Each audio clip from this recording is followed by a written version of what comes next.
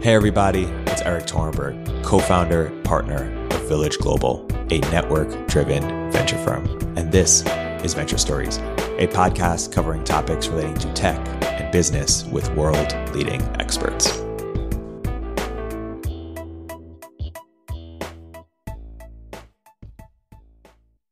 Hey, everybody, welcome to another episode of Village Global's Venture Stories. I'm here today joined by my co host, Ian Cinnamon, and a very special guest, Antonio Garcia Martinez. One of the things that you are really excited about, you wrote this great, great piece on your blog, The Pull Request, is on why the Web3 ecosystem needs attribution or should be thinking about ads in a smarter way. Uh, you're the guy who has the, the background here. You uh, helped build the first ad exchange in Facebook that you uh, you know wrote about beautifully in uh, in Chaos Monkeys. Um, you also worked at Branch Metrics, and you also worked uh, briefly, uh, famously, infamously um, at at Apple. And so, before I want to get into what you want to do in Web three, I want to get into what you did in Web two. or how, how that evolved a, a bit. To, so help us set the stage a little bit uh, about your your your experience there and uh, and how the ad ecosystem evolved. Oh wow, the big picture of how the total ads ecosystem has evolved, man. Okay, uh, this is this is going to be calling a lot, even for my like PM hand waving, you know, Jedi mind tricks here.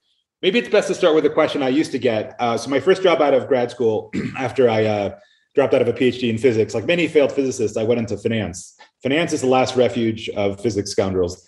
And so I, I was I was modeling credit risk at, at Goldman. It blew up, and then I went to my first ad tech startup, which is a company that raised a bunch of money but never shipped a product, which is an interesting introduction.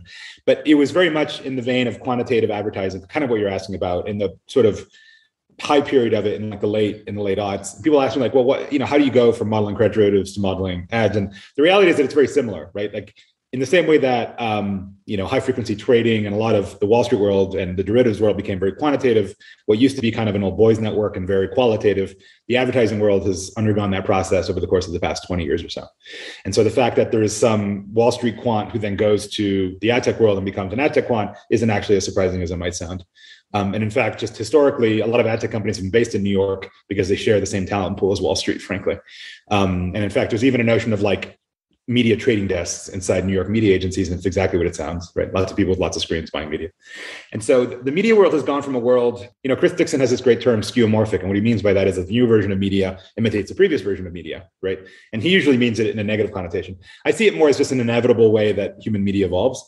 One example of skeuomorphism is if you look at the first display ads, like the ads that you see on the regular web, they look exactly like newspaper, like the first newspaper ads that came out in the 1830s, right? It's this sort of blob of visual kind of noise or distraction alongside more or less straight line text. And in the early days, that was I actually dug up what's called an insertion order, which is how I used to trade media.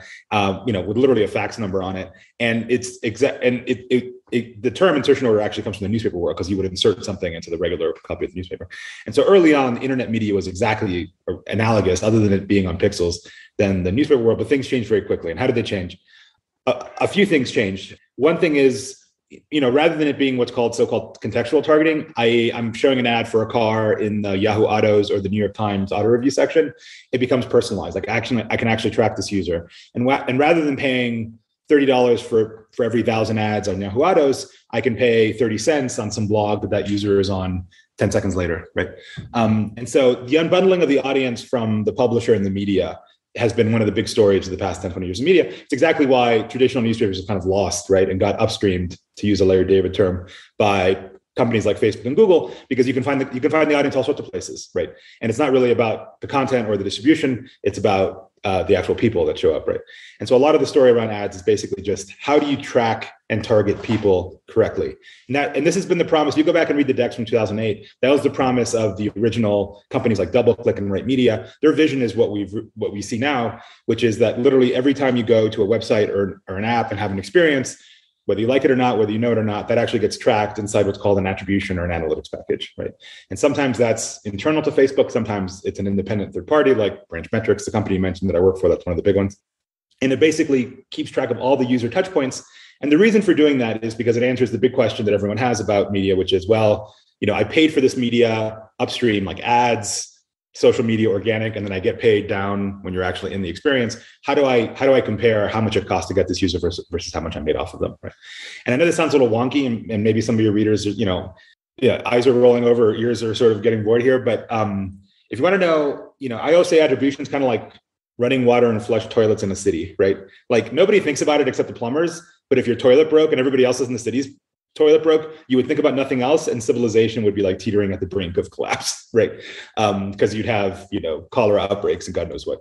Um, so attribution is in the same way. In fact, and this isn't hyperbolic, right? Like we've seen an example of it recently. There's this thing called ATT that you might have heard about, which is ads tracking and transparency. Apple's basically saying, look, you can't pull the individual user identifier out of the phone like you used to. And so that means when Facebook runs an ad and some gaming company sells you on upsells you on a game, they can't talk about the same person and, and, and say, oh, and figure out exactly how that person got there and why and how much it costs to get there. Apple basically said, no, we're going to make that very coarse grained. We're going to control the attribution and the ads going forward, right? Obviously, it's no secret now they hired me. They have an ad system that they're building. And attribution lets you do that. And if you can't do that, then you're like Facebook, and they this quarter they announced they're going to lose ten billion dollars in revenue this year. Or I was just looking at Snap's shares are down almost fifty percent this week, and uh, due to a letter that Evan Spiegel sent out in which I, I hate poking fun at you know entrepreneurs and founders because you know life is rough, but he you know he blamed the travails of Snap on the supply chain crisis and the war on the Ukraine. And you know, I wasn't aware that the memes of production were located outside Kiev, or that uh, you know memes came on ships from China. Um, I think a more likely story is that in fact Apple's ATT is biting Snap in the ass like it's biting Facebook in the ass. And all the various tricks and acrobatics that companies like Snap and Facebook have to do in a world where they can't do attribution, like fingerprinting your device, a lot of it gets a little shady um, isn't very effective and frankly is goes against Apple's terms of service.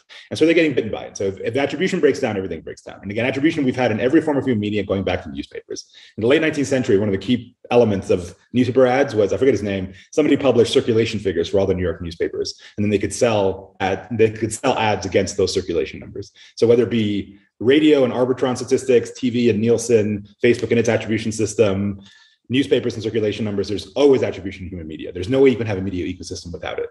And so anyhow, it sounds like I'm um, I'm sounds like I'm pitching you, and maybe I am. But the, the point is that in Web three, you're not going to have a media ecosystem in Web three unless you actually have appropriate attribution of some form. A great overview. Before we dive into the Web three element, sticking with Web two, it sounds like there's a lot of different players involved, right? You have the publishers, you have uh, uh, the advertisers who are actually purchasing the ads, and then you have effectively these device manufacturers Apple, Android, Google, etc., who set their own bar. How many different players are there in the attribution chain just in the Web two realm? Yeah, no, it's. I mean, you're right. It's it's like super complicated. This is this is an audio medium, but there's this thing called the Lumascape, and there's also something called the Martech landscape. Basically, imagine like a slide literally packed almost to the point of like a couple pixels of logos, and that's the current ad tech ecosystem. And each of those logos is in various functional boxes. Attribution is just one of them. It's one of the most important important ones. But you have like customer data warehousing of various sorts. You have buy side platforms that buy on exchanges. You have sell side platforms that sell on exchanges. You have the ad servers that actually serve the ads. There's a hundred different roles in this. But if you just pull out from that and just take the biggest players, they're what you're highlighting. Well, you've got the user, obviously. You've got the app publisher, which could be a Facebook, it could be a web blog, could be Substack, could be New York Times, whatever it is. You've got the handset manufacturer, which isn't necessarily the maker of the OS, right? In the Android ecosystem, you have companies that you've never heard of, like Xiaomi, or maybe ones that you have, like Samsung, that basically sell kind of a commodity phone with an open source operating system with a bunch of like weird bloatware on it that you don't actually want when you buy the phone. Um, in the case of Apple, of course, it's it's completely vertically integrated hardware, software, ad system, the whole deal. Um, so yeah, there's there's lots of players and lots of power centers there, and you know, if you ask like, what's the impact of the carrier on this? you'd almost have to take specific companies and scenarios into account to even answer that question because it's so it's so nuanced. Zooming out, but before we zoom back in, why has the ad tech kind of like startup ecosystem been such a graveyard the last like decade plus? Is, is it because and you even showed me uh, the the Martech ecosystem the other day and how how crowded that that is and how hard that space is too. Um, is it because the gains have just gone to incumbents, or how do we think about that? I mean, ad tech used to be a super area of growth with lots of VC funding for it, and and and you know, I've worked in a bunch of ad tech startups. The, the one that I've started, later stage ones that I've worked for, and it's true that it's not so much the case anymore. When I went to Apple, the only reason I stayed in ad tech is ad tech is a little bit dead. As much as I love ads and I think ads are good for you, and like vitamins, you should have a certain number every day. You should have your RDA of ads. You know, it gets a little old after a while. And the only reason I went to Apple is because the, the last chapter of this ad tech saga that I've sketched out very roughly is a little bit of flipping of the architecture. So, I mean, this is a little bit of a rabbit hole, but what, what Apple and Google and other companies are doing, and we built a, we built a prototype of this at Branch. That's why I ended up getting the job at Apple. Is a lot of the data that now lives in the cloud. Like, you know, you think about your mental model for how the internet works. Like you do shit on your phone or on your laptop, stuff goes into the cloud. stuff happens that you don't have total control over, and then you get an experience, right? An ad or another page loads or whatever, right? That's a very old way of architecting things. That's almost like a you know thin client fat server to use kind of dated language you know architecture for it. These phones that we have in our pockets and i'm like gesticulating with my phone in my hand are actually fairly powerful computers. There's it's not clear why you shouldn't be running a lot of that logic or have a lot of that data on your phone. Like why do you have to hit the cloud for a lot of that stuff? There's a lot of reasons why it should live on the phone right? Um, you know one of the great revolutions we've seen in the past 10 years say is that most most human interaction with the internet is now on mobile via native apps running on the phone which i know sounds very natural to us but when i was at facebook they were still dicking around with html5 they they didn't focus on the app. The android app was like slow. Like we, we haven't been living in a mobile app world kind of that long in, in the schemes of the overarching thing of, of the internet. So there's, um, you know, the, the, last chapter of that is actually putting a lot of the stuff on device, which is what Apple's doing, both as a privacy thing and obviously a strategic block against, you know, the Facebooks of the world. But that was it. Like to me, that's like the last chapter of this ad tech saga. Like there's not much, I mean, there's micro pockets of it. For example, podcast uh, ads are kind of interesting, right? And are still in their relative infancy. So you you could imagine building a parallel ad stack, which is happening by the way in the podcasting world. Audio ads are a little bit different for a bunch of reasons, but there's not like a lot of stuff left to do, right? Like you know, if VR AR actually takes off as the next way that humans intermediate their entire lives via screens, then maybe you would have another saga begin there, but that hasn't quite happened yet. And so I, I just think we're at the end of the line when it comes to ads, at least in Web two. Of course, Web three I think changes all of that, but in the Web two world, there's just not a lot that needs to be built, right? Like on that Martech chart that I showed you, which you should probably include a link to in the notes or whatever, like there isn't a lot of space left for another logo. right? Yeah. So. That's, that's really interesting. I mean, the um, you, you, mentioned you know half in jest, but I also think somewhat serious that ads are good for you. I, I think as a response to the flack that ads have gotten from a variety of different people who said you know they, they blame ads for why you know journalism looks like buzz looked like BuzzFeed for a bit, and you know appealing to lowest common denominator or you know for clicks etc or you know even people in the web3 world call it like the original sin of the internet and it led to all this divisiveness or something. But what say you? Is that all hogwash or why are they uh, wrong yeah i think it's almost exactly wrong like 180 degree incorrect right um, but it, but it's a subtle point. Like, I mean, sure. Look, I mean, you know, I'm not a huge. Well, st- steel man on the critique. What, what's the be- best version of the critique, and then let's address it. I mean, sure. There, yes, for some for some types of media and for some types of ads, the notion of clickbait, trying to drive clicks above all else, is actually the goal. But in the reality, in, ad, in the ad tech world, it's moved from clicks to downstream actions like installs or upgrades. And so it's like real things that monetize. It's not just a superficial action. So it's not true that broadly the entire ecosystem is focused on clicks. Again, if you look at the way that most media is priced, it's not it's not click based. Like you don't actually make money on the click, right? So it's just not a correct statement about where the state of the media, the media world is. And more broadly, to put on my like Marshall McLuhan media theorist hat, right?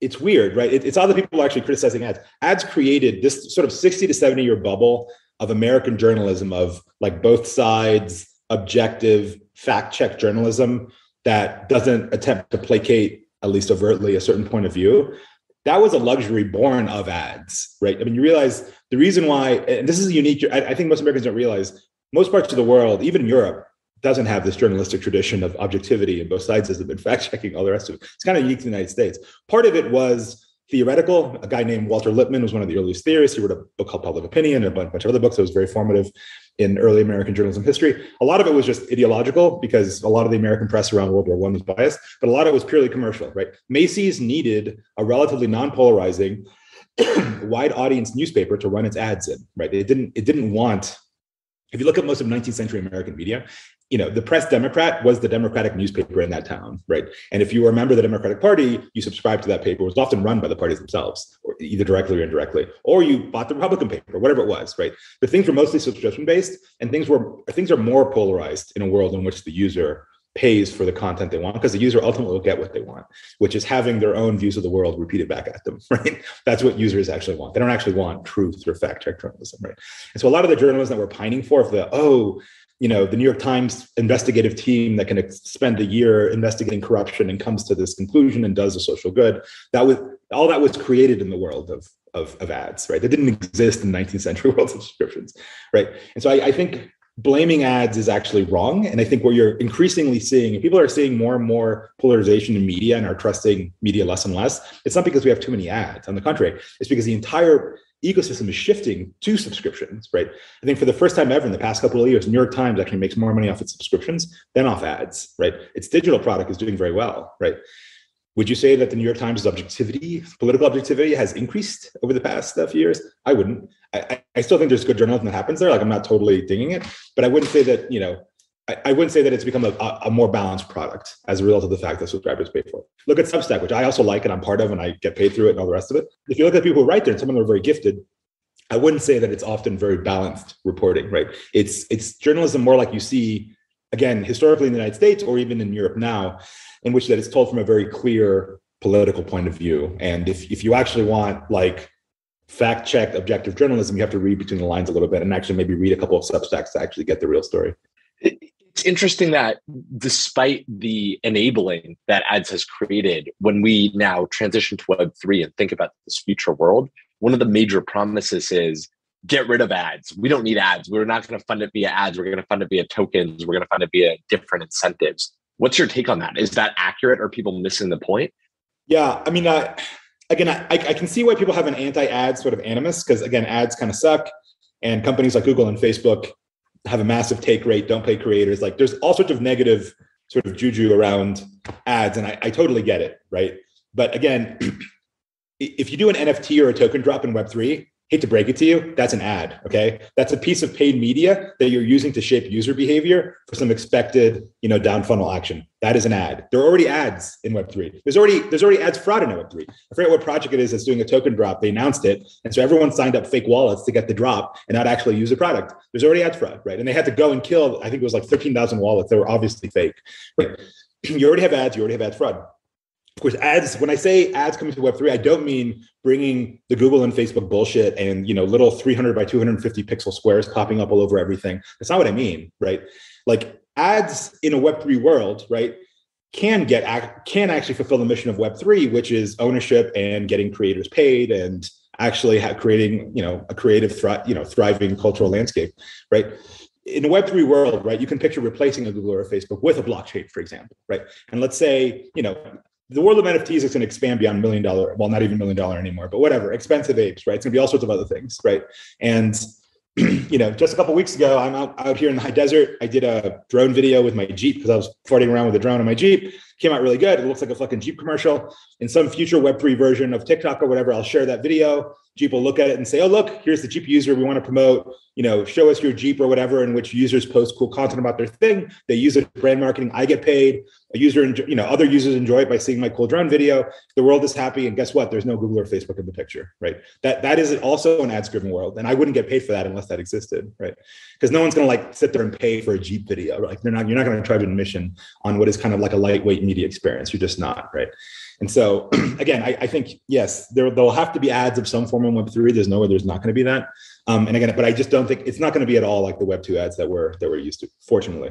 So it makes sense if we were to draw a line and say Web 2 goes away, we're all fully in Web 3. But in this Web 2.5 transition, right, you have the Googles and the Facebooks and these other ad Web 2 ad centric companies who see Web 3 and want to deal, want to dabble in it, and want to figure out ads in it, do you think they're going to embrace that more web 3 savvy advertising or what how do we transition the web 2 into the web 3 uh, in terms of ads?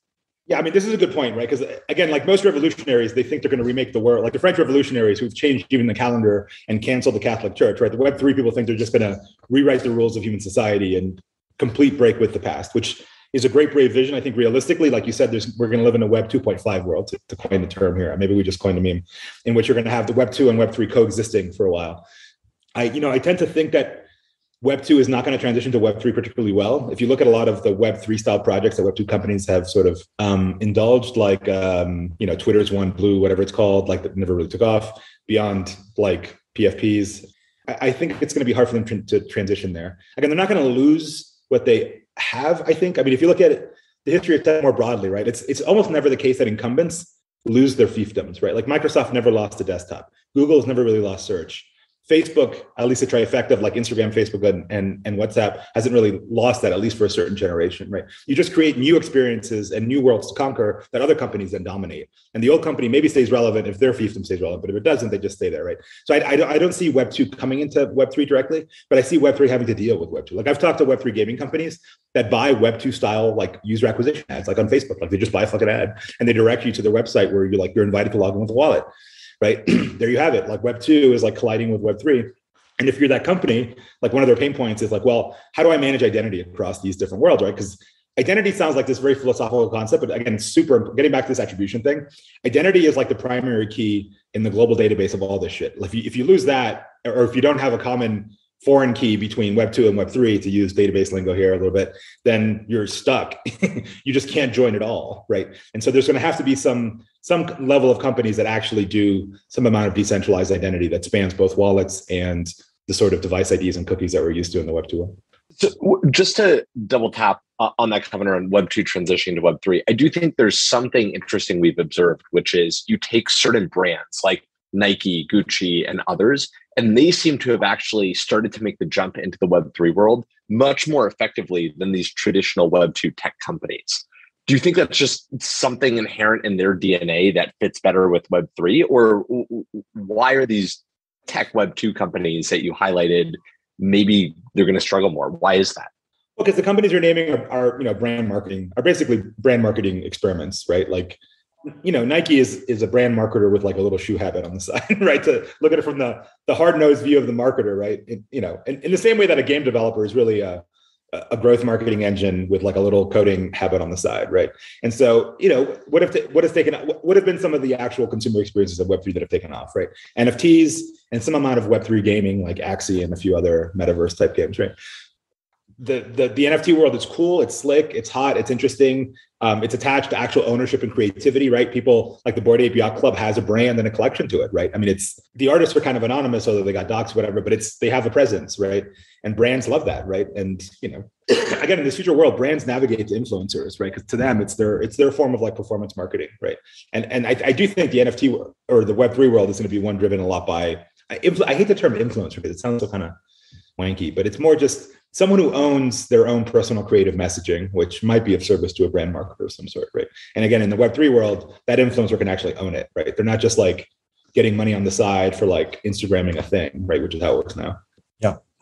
Zooming back out again, if if if you're 2009, I'm not sure exactly when you were at Facebook, but if, if you're Facebook self, we're we're here in the Zoom chat and we're catching up on how everything, how the whole ecosystem evolved. What would have been most surprising to you know the the version of you that was at Facebook? Yeah, well, I mean, I was there until 2013, so it wasn't that. Sadly, it was not since 2009 because things would have been a lot better. Um, 2013, but um, I mean, a lot of what of what evolved with Facebook did catch me by surprise, right? Like the ad system did a lot better. I was a little pessimistic when I left. You know, there was just a couple years in there right before. I mean, I covered this in my in my memoir, Chaos Monkeys, right before the IPO when the ad system kind of sucked at Facebook back. But when I got there and I looked at the average CPM, the average cost per ad, when I logged in, I couldn't believe how low it was. Like, what the fuck? How is this possible? Um, it was like worse in that sense. but that that quickly changed, right? I mean, if one thing that Facebook's really good at as a company is that it spots problems and then just like mobilizes in almost military fashion to solve it, which they did in the case of ads. And so, not just stuff I did, but me and a bunch of people built a bunch of shit in those two years that became the core of Facebook's monetization engine. So, like newsfeed ads, like there didn't used to be ads in newsfeed, video ads, for example, custom audiences targeting. That's sort of in the spirit of the exchange that you mentioned. App install targeting. They shipped an attribution system, right? There didn't used to be an attribution system at Facebook. When you clicked away from Facebook, Facebook had no idea what was going on outside of Facebook, like none, none whatsoever, right? And so they built a lot of these key things that are now what drives most of growth at, or what drives most of revenue at, at Facebook. So I think the fact that they actually managed to build, again, it, it's, it's, I'm going to sound like an old fart, but like at some point, like for a while, it was hard to convince people to spend money on Facebook ads, right? Like it wasn't a, a given. Like Facebook was weird, right? Compared to the conventional display world or search, Facebook was just strange. The ad format was strange. The targeting wasn't there. There was no attribution people didn't use it. It was hard to convince them to use it. I mean, part of the reason why I pitched Zuck on the opening scene in the book is me pitching the executive team that we need to do like real targeting, and he didn't really know what he was saying yes to. I I had barely understood it myself, but it was clear that we needed to have some way to actually you know merge the Facebook ads experience with the outside ads experience. We had lived as a walled garden for a very long time? And of course, where it landed, it didn't become like another open ecosystem like Google, right? Which is what, what I thought it would do. It actually became kind of a kind of a weird hybrid in which you don't give your data to Facebook. Facebook doesn't give the data to you. You just join and agree that, hey, this guy, Erik Torenberg, and this guy, Ian, put them into one bucket and show them this ad, right? And that's how Facebook talks to the world. But yeah, that the fact that they actually built that engine and built it so well, I'm not shocked by it, but I, yeah, it's kind of yeah. surprising. The, the reason I ask, I ask that question is to kind of make a parallel here you know we're at the beginning, or you know, the ad ecosystem Web three doesn't even exist yet, you know, because Web three barely exists. Uh, but you know, let's say we're doing this podcast a decade from now and we're reflecting um, how how the ecosystem evolved. What are the different like either forks in the road, or what are the different ways it, it could go, or like what, what how do you sort of see it, uh, you know, emerging or evolving? I think it's hard to speculate. I mean, I could sit here and just riff on random shit, right? But that's why I think building the attribution system first is actually important because I mean, there's a lot of things that are different about that are re- the reverse of Web two and Web three, right? So, like in Web two, you would build a compelling user experience, a consumer experience, and then figure out how to monetize it later. Like I just discussed, Facebook's ad system, even the year before the IPO, kind of sucked, right? They, they weren't taking the monetization side seriously.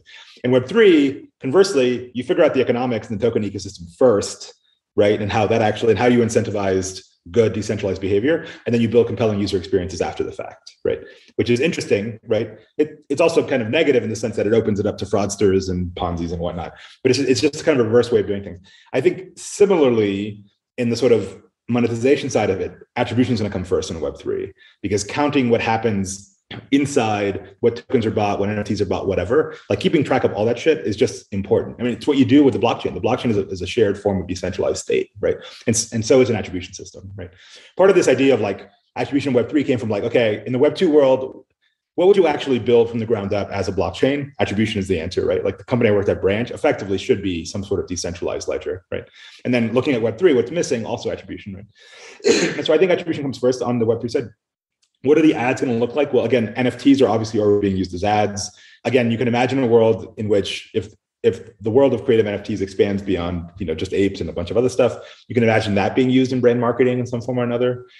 I think it's going to be a lot about incentivizing. It's going to be like about like driving driving user behaviors in various forms and paying people for it is how it's going to work going forward. You're going to have some sort of if you want to call it CPA because you want to sound like a ad tech OG, you can call it a bounty system if you want. But basically, if a user goes and does something inside your game and does some like blockchain verifiable on-chain action, you get paid for having driven that thing right um, and so marketing goes from this thing where the marketing team rolls in every quarter into the ad network or into the publisher, and then they figure out how much the customer acquisition cost was that quarter and how much they're going to spend on you versus Google versus anybody else. It goes from a world in which no, actually you're just staking a certain number of tokens into an advertising ecosystem and saying, look, in a very smart contract way, I'm willing, I'm willing to spend thirty thousand dollars for user acquisition this quarter, and I'm willing to pay thirty dollars per user. Make it happen, right? And various people, affiliates, ad networks, whoever, make it happen. They get paid again in a very tokeny Web3 sort of way. And that's the new form of marketing, right? That's that's how ads work inside Web3. It's not, it is not the old Web2 world. You, you the middlemen like Google and Facebook don't make don't have vast take rate. They may not exist at all in this ecosystem. It's really going to be an interaction mediated by the blockchain between the creatives who create the creative that's interesting, the you know app developers want to drive user behavior, and the users themselves so there's an interesting dichotomy between the term user, right? Between Web 2, Web 2.5, and Web 3. Where in Web 2, a user is like you or me, and like you know who they are, or you have an IDFA or some identifier. In Web 3, though, it's like this pseudo-anonymous wallet that people might have multiple of them and don't want their identity revealed. And it's almost like this like crazy, ironically, privacy conscious world that everything's recorded on blockchain. So it's like super private yet super public. Uh, how do you mesh the two? And how do you think about letting users know that they're being targeted for certain maybe it's nfts or airdrops or on-chain actions when one of the ethos of web3 is i don't want that. I, I, want to avoid people knowing who i am yet everything is public right? It's it's almost this mental model that needs to shift. Yeah yeah. I mean i think there's going to be a massive collision between like the privacy world which is now fairly well regulated via gdpr and ccpa i mean both legally and there's ethically there's norms around it. And this web3 world that as you said is on the one hand kind of privacy obsessed on the other hand everything's public in, in ways that like would never exist in like a regular credit card payment system right? Like visa doesn't post your transactions but bitcoin does right? It's a little it's a little weird right? So yeah i think you're gonna have to rethink a lot of things. I mean I, th- I think you you touched on two things. One identity is a little fractured in the web3 world right? Like you have lots of wallets and there isn't a unitary vision of you as a user in the way that there would be in the facebook user id of course web2 shares some of those problems as well. You have more than one device you erase your cookies. Like it's not an unknown problem but I think the bigger problem is what you're saying, which is like, what is the user expectation of privacy? Privacy is a big topic. I think a lot of the active, there's like a whole privacy industrial complex of people who either legislate about privacy or talk about it or comment on it or whatever. And I think the views of those people are often very different than the users themselves, right? I think your average user thinks of privacy as a commodity that they trade for other things, right? They trade privacy for a sense of community, right? Because they expose their lives on social media, or they trade their live, you know, the privacy for convenience, right? You save your payment credentials on Amazon because you don't want to like enter your fucking credit card all the time. That also means Amazon knows everything you buy, right? And so, you know, as Web3 scales to like more normie users, I think it's going to become a little bit less privacy obsessed and the reality is, like your average normally Web3 user, when when it, when and if they materialize, is not going to have 50 wallets and a hot and cold storage and a ledger and all that shit. He's going to have one, you know, one wallet that they just promiscuously log into fucking everything with. There's like 600 NFTs in there that he, half of them he doesn't know where the fuck they came from. He's got like 50 shit coins, 10 whatever. It's going to be this total. It's going to be like the cookies on your browser. If you look at the cookies on your browser, there's hundreds of them in there, right? It's going to be the exact same thing for wallets when when Web3 goes goes mainstream.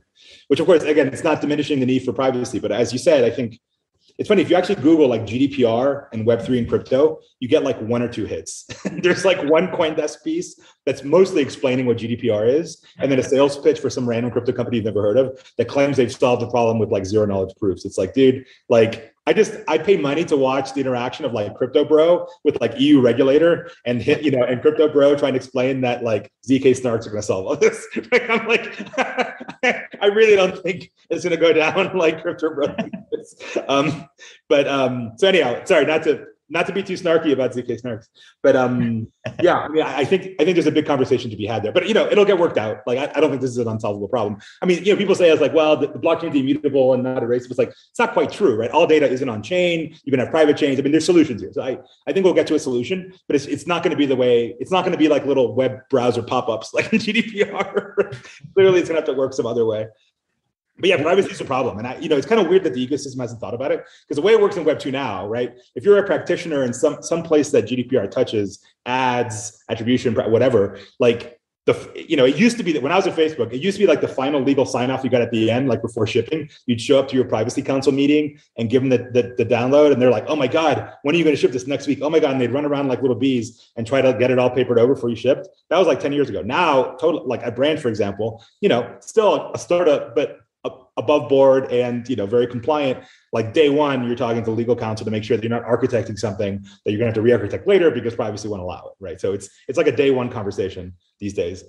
And it somehow it doesn't seem to be yet a day one conversation on the web3 side. But you know i'm sure the the ecosystem will mature and it, it particularly if like old web 2 boomers like me get into it then it'll, it'll definitely mature. Now i'm talking my own book here but yeah well well speaking of that we're, we're, we're, near time here. Um, this has been an awesome overview for for interested uh, listeners who might be engineers or prospective uh, collaborators uh, in some capacity. Um, and so maybe let's close by you just giving a preview of how you're thinking about uh, entering the space yourself. Well, well, I think there's two approaches to the problem, right? So there's so there's already a pain point, right? If you talk to these companies, and you're just like, have you calculated your customer acquisition cost? They're like, uh, what? Uh, I mean, they may not even know what it is, or some actually do know, because a lot of them do come from Web2 gaming. And they're like, uh, not really, really well. Maybe you can solve that problem for us, right? So you can actually start solving some of the immediate pain points. I think the, the fuller vision, which is I was sort of hinting at, which is imagine you have a token and a protocol that effectively tracks downstream events of interest to app developers, right? And allows you to write smart contracts that actually incentivize that behavior to other people, ad networks, affiliates, whoever, right? Influencers, whatever the case might be. And so the bigger vision of this, the dream vision is something like ENS or Uniswap, right? It's, it's, a, it's a token and a protocol out in the world that fulfills a very basic core function of the Web3 world that needs to exist and that is balanced and engineered in such a way that everyone who should get paid does get paid and it enables all sorts of new and interesting use cases that wouldn't exist before. And so, you know, the correct way to do that would be to, you know, get it funded, love to talk to technical people to actually have a whiteboard jam session to actually architect this thing. And then go into a cave and you know three to four months later actually start shipping the initial version of it integrate with a gaming partner or whoever and actually you know release this thing to the wild and watch it work.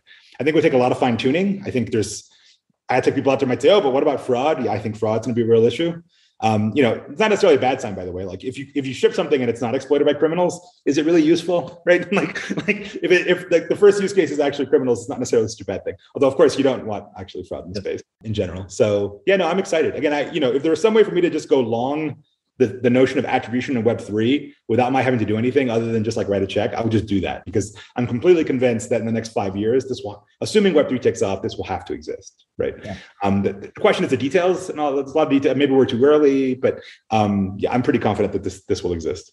Well, it's, it's great to have you back as a, as a builder. You know, I I, I think you you could be definitely a, pioneer in the space. At the very least, worst case, we'll get a Michael Lewis memoir of the crypto of Web three in a decade.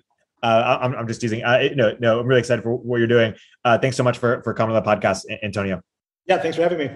Awesome. And for people who want to follow more, definitely check out the pull request. Uh, follow Antonio Garcia Martinez on Twitter. If you're a builder, feel free to to DM him or or, or get in touch with him. Antonio, we'll, we'll talk soon. Thanks. See you, Erik. See you. In.